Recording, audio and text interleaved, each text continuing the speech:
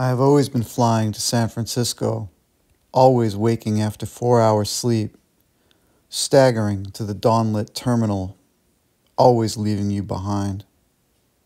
I have always been thinking of you as I stand in line with the boarding pass behind the foreign language family laughing from too much baggage and time to spare.